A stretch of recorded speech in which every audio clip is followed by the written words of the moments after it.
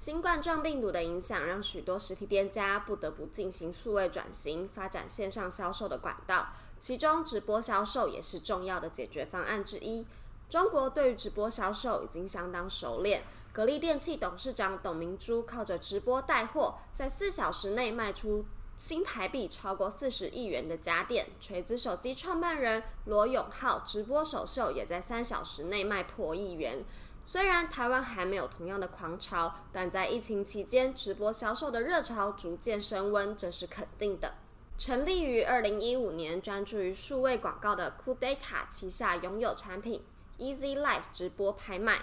透过留言加一购买就能快速成立订单，对比去年迎来了十倍成长的加一购买交易数。今天让我们一起来看看吧。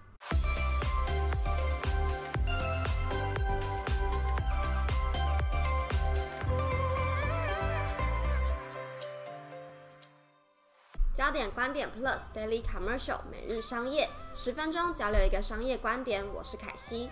每日商业不仅有每周的节目，更有网络社团可以一起交流和分享。如果你还没有加入的话，欢迎大家点击我们的资讯栏链接加入我们哦。我们今天的报道来源是二零二零年七月十六号由陈君毅所撰写并刊登在数位时代官网的文章。从 Cool Data 提供的数据，能发现直播销售在台湾的成长。酷 data 的直播产品 Easy Life 在二零一九年推出后，第一季平均每场的直播长度为六十八分钟。到了二零二零年，第一季已经成长至百分之五十五，平均直播长度为一百零六分钟。二零二零年前半年已经累积的加一购买量已经达五十万次，是去年同期的十倍。预计今年有望创造破亿的 GMV。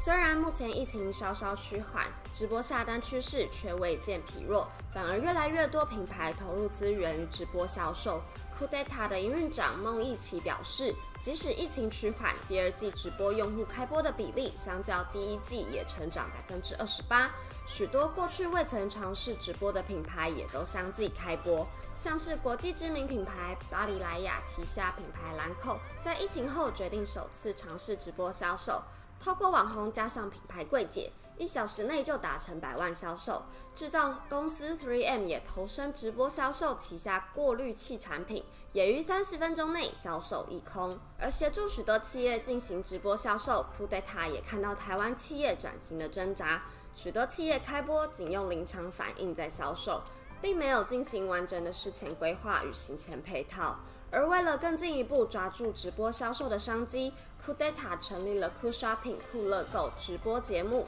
提供完整的解决方案。于今年五月成立的酷乐购直播节目，可以说是真正的因疫情而生，为的就是解决企业缺乏直播经验或不熟悉数位工具的问题。Cool Data 的团队认为，直播销售并不是单纯的开播即可，还需要有完整的规划和广告投放，才能够带动销售。他们也发现，有许多的企业客户买了 Easy Life 的方案，却迟迟没有开播，或是产品根本没有粉丝团作为渠道开播，又或者完全没有直播的经验。因此，Cool Data 邀请这些台湾品牌带着产品到 Cool Data 办公室内的摄影棚，透过 Cool Shopping 酷乐购的粉丝团开播。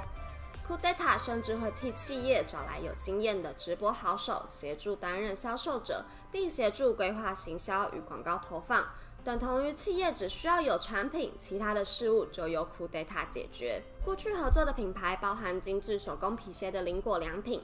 麦芽气泡饮和鱼麦酒、专销愈合包的悠游数据等。其中悠游数据贩卖的愈合包更创下六小时卖完的记录。除了 Cool Data 之外，台湾还有许多直播销售的解决方案提供者，如 iColor、创意点子、一期直播旗下的 Hand Up 举手购物等。虽然目前看来许多台湾企业仍处于尝试的阶段，但仍相当值得观察消费者是否会发生购买行为上的转移，以及风口上的玩家们，不论是企业或是直播服务提供者，如何紧抓着时代趋势做出反应。好的，今天的每日商业就到这边。最后，想邀请每一位对新创、商业、科技有兴趣的朋友们，欢迎点击我们的资讯栏链接，加入焦点观点 Plus 社团，让我们一起讨论世界的商业生态。焦点观点 Plus Daily Commercial 每日商业十分钟，交流一个商业观点。我们下次见，拜拜。